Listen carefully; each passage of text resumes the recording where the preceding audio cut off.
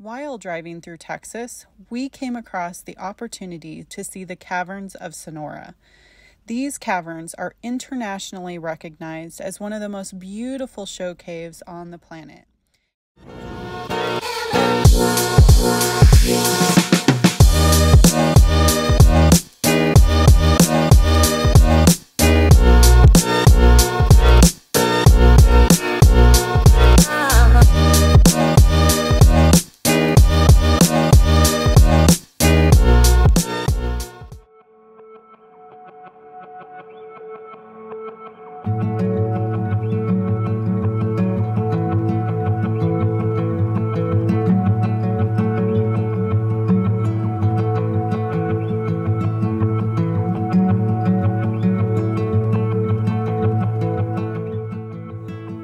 At the caverns take about an hour and 45 minutes, and it's typically less than 12 people, so it's a pretty intimate group.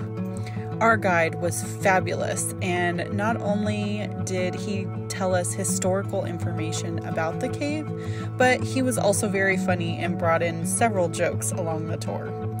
The cave is also typically around 72 degrees Fahrenheit, so that's pretty warm. Um, so just be prepared for that and make sure that you dress appropriately.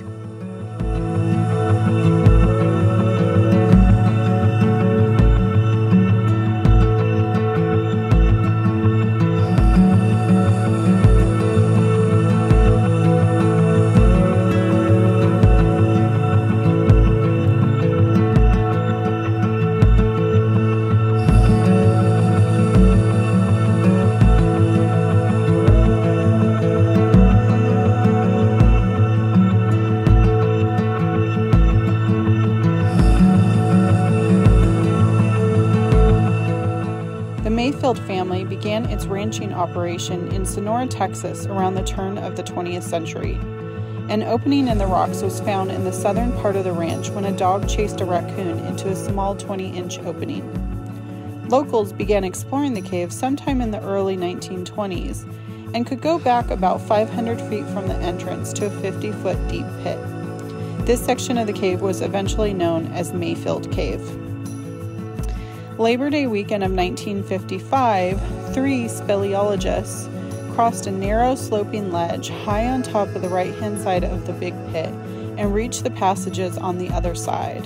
Stories of bizarre formations and untold beauty began circulating.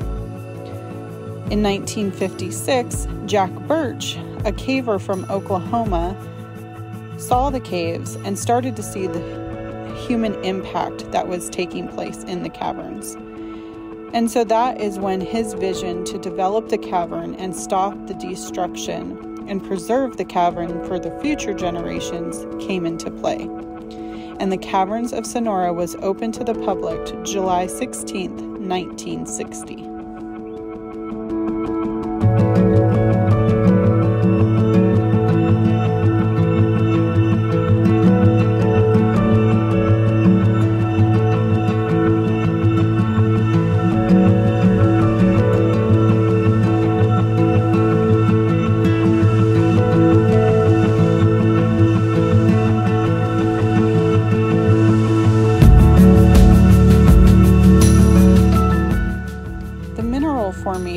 Are created because there is a fault within the cave.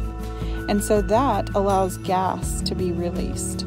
That mixed with the water that naturally enters the cave creates speleothems.